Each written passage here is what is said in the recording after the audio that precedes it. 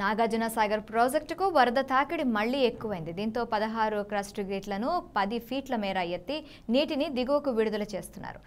ఇక ప్రాజెక్టుల్లోకి రెండు లక్షల డెబ్బై ఆరు వేల ఏడు వందల డెబ్బై ఎనిమిది క్యూసెక్కుల వరద నీరు వస్తుండగా అదే మొత్తంలో నీటిని కిందకు విడుదల చేస్తున్నారు. పూర్తి స్థాయి నీటి నిల్వ సామర్థ్యం మూడు వందల పన్నెండు పాయింట్ సున్నా నాలుగు ఐదు సున్నా టీఎంసీలు కాగా ప్రస్తుతం నీటి నిల్వ మూడు వందల పది పాయింట్ ఐదు ఐదు ఒకటి సున్నా టీఎంసీలుగా ఉంది. పూర్తి స్థాయి నీటి మట్టం ఐదు వందల తొంభై అడుగులు కాగా ప్రస్తుతం నీటి మట్టం ఐదు వందల ఎనభై తొమ్మిది పాయింట్ ఐదు సున్నా అడుగులుగా ఉంది.